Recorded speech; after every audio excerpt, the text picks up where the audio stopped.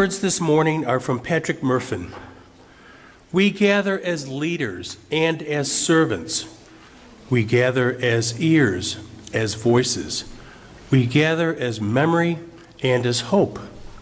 We gather as family and as pilgrims. We gather as faithful, also as skeptics. We gather as wisdom, also as folly.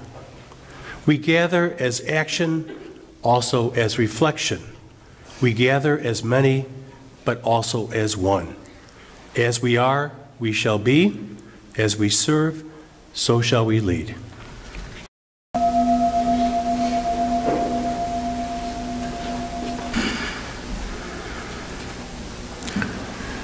Fifteen years ago, I stood at this very pulpit and delivered my first Easter service. Those of you who were present will recall that it was an, a sermon that lasted about 45 minutes.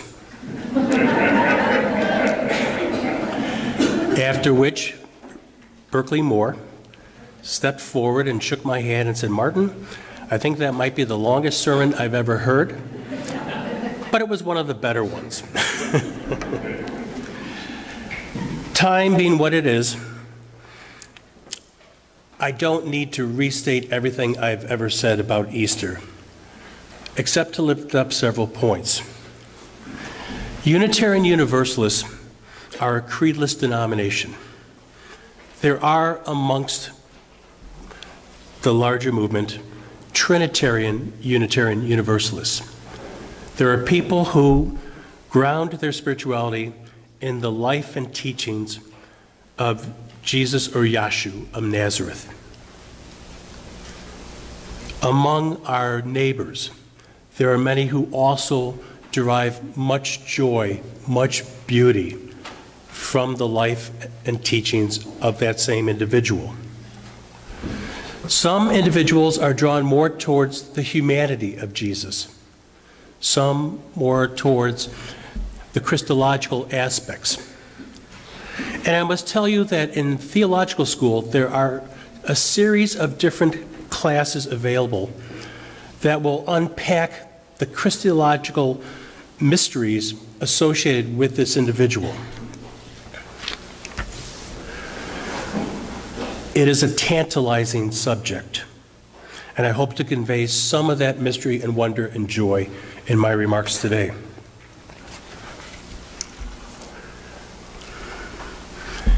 It has been said that tis a gift to be simple.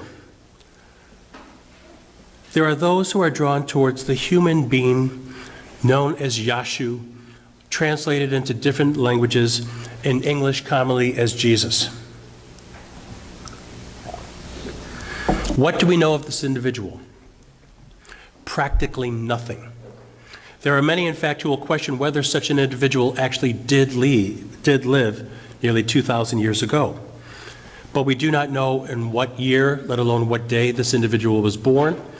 We do not know precisely when this individual died by the year.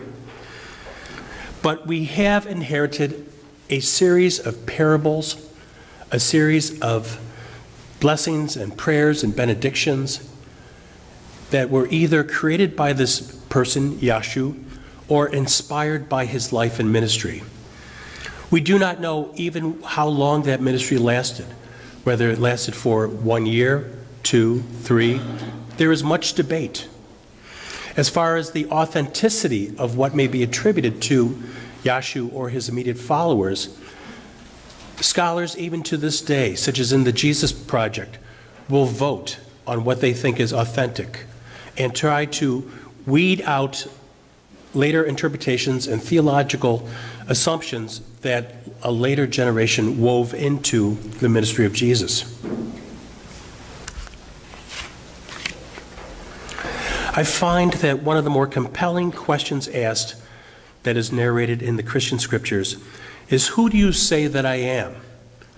This particular phrase, at least as rendered in English, reminds us of an earlier mention I am who I am reflecting back upon the voice of the holy through the burning bush. Let it be noted that the earliest disciples gave various answers, that there was no agreement. And now historical study will,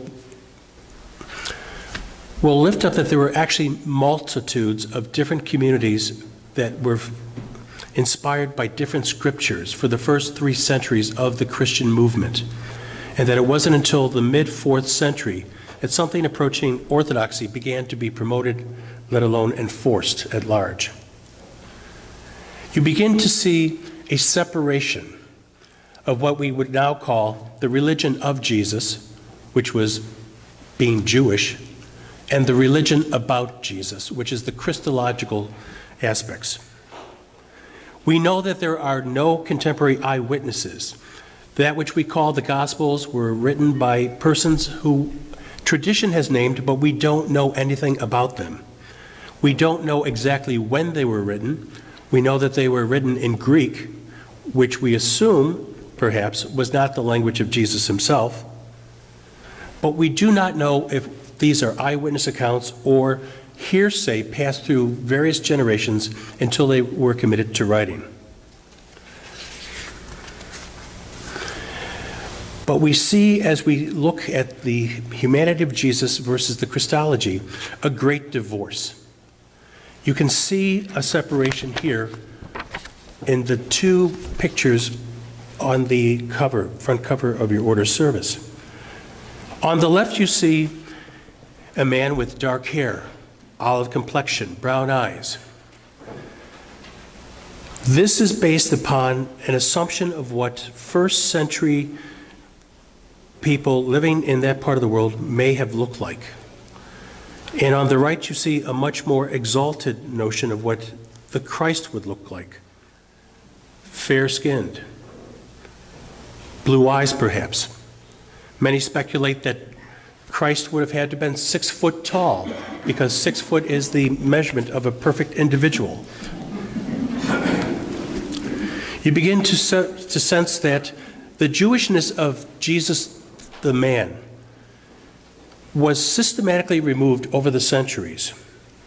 And so the word that his contemporaries might have used, Messiah, is translated into Greek and becomes Christos or the Christ. They both mean the same thing, the one who is anointed. But Messiah is a very Jewish word. It refers to any individual, a priest of the temple, a person of royal nature a prophet of the living God, who has been designated by God or by his chief spokespeople on earth as someone set apart from the others, someone who has a particular and special calling.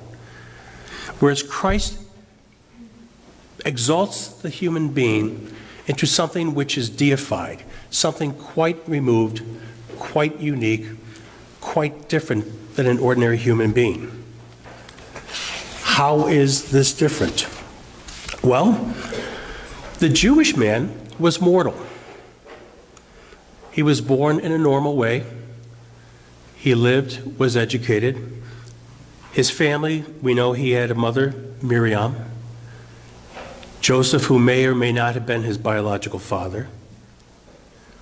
We know that he was inspired to step out of the common crowd and to begin preaching a message of repentance, perhaps inspired by John the Baptist. A close study of the Christian scriptures reveals a mindset that speaks of the end of all time, the end of all existence, when God will call his chosen people home. But people who have repented in their hearts, in their minds, in their actions, who set aside all the possessions of the world, leave all to follow this person and that message, to turn away from the world and to embrace the notion that the end of the world is imminent. It will come like a thief in the night, that not even this individual, Yashu himself, could say when, but he was certainly he was certain that this was going to come to pass within his lifetime. We know that there are certain words that his contemporaries spoke of him. They called him rabbi, as is explained in Scripture, a word that was just coming into vogue in the first century that meant teacher. How different is that from God? In Scripture, it is recorded that he called himself a son of man. And how different is that from the Son of God? And as we explore the different creeds that have evolved, we see how Son of Man has given way to a Son of God, to the only Son of God. And so it reinforces the notion that Yashu is no longer human, but is semi divine, if not fully divine, and one with the Father, the classic Trinitarian formula. And we see that that which was part of his Jewish heritage, part of his Jewish teaching, is set aside in the Christological formulations that are called the creeds. The Great Creed says that we believe in Jesus Christ, the only Son of the Father, who was born of the Virgin Mary. He suffered and died under Pontius Pilate. He descended into hell, and on the third day he rose again to judge the living and the dead. You will note very little in that particular formulation about what he taught, what the meaning of his life and ministry was. The Christological Jesus emphasizes that he had a supernatural birth and that he had a supernatural death. But the creed itself erases from history any of the Jewish context of his life and all of the teachings and all of the missionary work that he did among his contemporaries. And I feel that Christianity is at its best when it reflects back upon the Jewishness of Yashu, his times and his contemporaries, and lifts up the beauty of that Jewish background. And I think no one does that as well as John Shelby Spong. In our language, we refer to Easter which is very close to Ostara and Oestra, the goddess from the British Isles. But you may be intrigued to know that the word in other languages, of the Romantic languages, would call this Pasqua, which is the Romance language interpretation of Pesach, the Hebrew word for Passover. And so in Spain today, they celebrate Passover slash Pasqua, whereas we celebrate something which is far, far removed from the Jewish celebration. I think it also quite intriguing that one of the one of the dishes which is quite prominent on a day like today among Christian households is ham, a food that is absolutely forbidden to the Jewish people. We expect that the Jewish Yahshua was a human being with bodily functions, with emotions that included pity and love, and that he was capable of error. It is speculated that he may have had a wife, perhaps even children. There's evidence in Scripture that he had siblings. And yet, for the Christological formulation, this Christ must be free from imperfection, free from the passions of the flesh. And so his mother must be a virgin. He himself must have been a virgin. His clothes must have been radiant. And he must never have had to stoop to any bodily functions. Upon his death, the human Jesus would have cried out, My God, my God, why have you forsaken me? in Aramaic. The Christological being would have uttered simply, It is finished. And so the mission is more important in the Christological interpretation than any flesh and blood sentiments or teachings it is very much impartial. It is very much removed from the human situation. Lost are the parables, the Beatitudes, the notion of repentance, of loving one's neighbor, Instead, the Christological formulation lifts up, He is risen, and He is risen for a purpose to judge all, and that none shall come to His Father except through Him. One wishes that our brothers and sisters, whether within our own movement or within the larger Christian movements writ large, could find a way to hold both side by side. Regardless of whether they celebrate a Christ or not, we would encourage them to embrace the human side of Jesus. Now, certainly there are many of our brothers and sisters who do this quite well. But we have seen a proliferation of denominations over the last 2,000 years that try to be more and more particular and more and more centralized on the Christological aspects of this individual. Is it necessary? I don't think so. I think that in terms of his message, it is very telling that the message of renewal and deliverance that he offered to his contemporaries was offered not just to the one chosen people or those who acknowledged him as having special favor with the divinity, but someone who was offering a pathway to the living God as he understood it. You will recall that Jesus himself, as is recorded in Scripture, did not say, only those who worship me as God will find favor with God. But he shared his good news with Samaritans. He shared them with the Roman centurion. He shared the good news with a brigand who was dying by his side, whose only conversation with Jesus was not to acknowledge him as a Lord and Savior, but to profess that here was an innocent man being put to death by the state.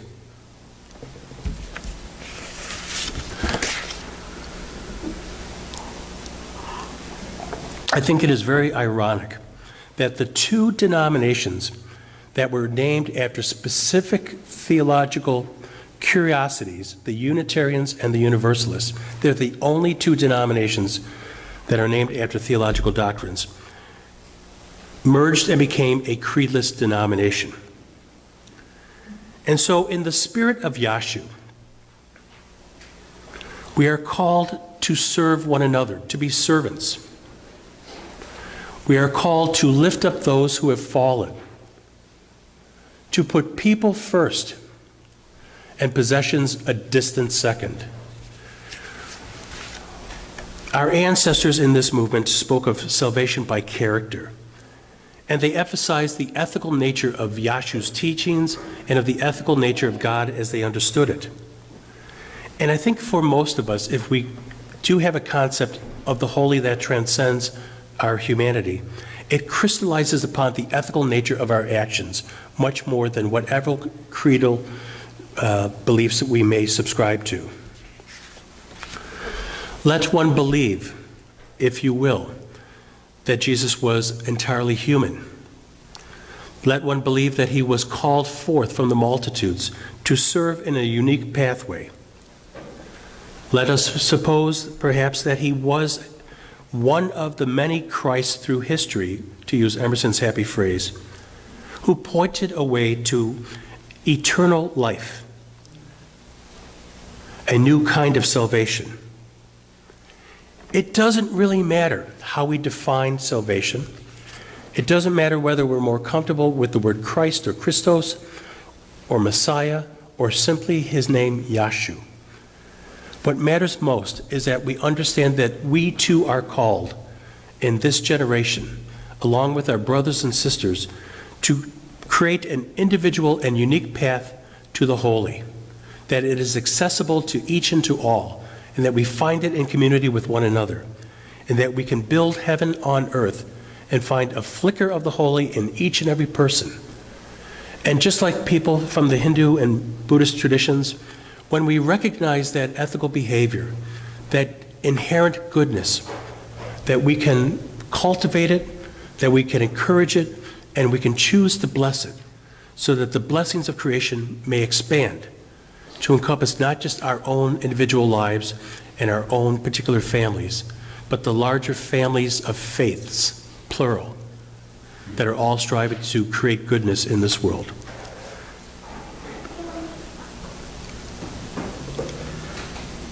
It's been a long time coming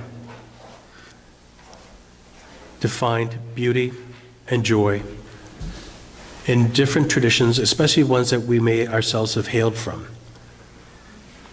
There was a long time I was in reaction and revolt against it. But what I have discovered upon reflection over the years and in my ministries with the various individuals is that I accept Yashu and the blessings of his life and teachings and hope to embrace that and to weave his parables, his stories, his teachings to enlarge my own understanding of what is good and what is holy in humanity as well as in this life. Amen and blessed be.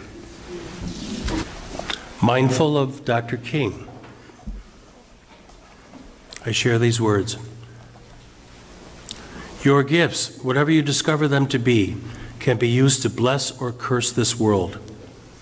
The mind's power, the strengths of your own hands, the reaches of your heart, the gifts of speaking, of listening, imagining, seeing, and even waiting. Any of these can serve to feed the hungry, to bind up the wounds, to welcome the stranger, to praise what is sacred, and to do the work of justice in this world, or simply to offer love and forgiveness. All of us must answer this question What will we do with all these precious gifts? Amen.